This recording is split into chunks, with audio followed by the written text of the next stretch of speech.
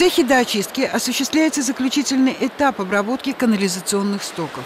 Пройдя все этапы, вода доочищается с помощью микрофильтров и проходит ультрафиолетовое обеззараживание. Впрочем, прежде чем осмотреть процесс, Станислав Воскресенский поинтересовался у генерального директора ходом работ по ликвидации аварии, которая случилась возле дома 102 на улице Куконковых в Иваново. На сегодняшний момент а, можно сказать, авария локализована, работы производятся, произошло, произвели переключение, все абоненты находятся с водой. А, планируем завершение работ примерно к 22 часам. Затем вернулись к обсуждению глобального проекта, который финансировался из федерального бюджета при поддержке средств Международного банка реконструкции и развития. Для участия в программе были отобраны 10 городов России, в том числе и наш город – Комплекс предназначен для очистки стоков Иванова, Кохмы и Ивановского района. Проект реализовывался действительно давно.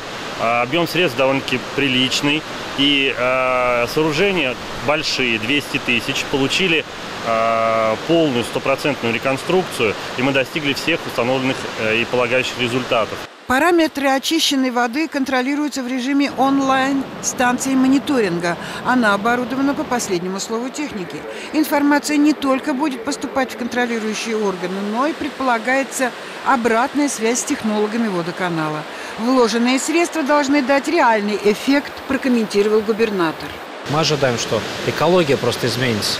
Просто изменится экология в лучшую сторону в Иваново, в Ивановском районе, в Кохме. Потому что вод, все, что сбрасывается, теперь очищается, и вода должна стать в водоемах чище. Если правильно понимаю? Да. Вот это главное, чтобы теперь действительно мы добились этого результата, которого хотели. Надо это все на контроле держать. Порекомендовал генеральному директору водоканала не только наладить связь с активистами в сфере экологии, но и сотрудничество. Ирина Афонина, Денис Железов, телекомпания «Барс».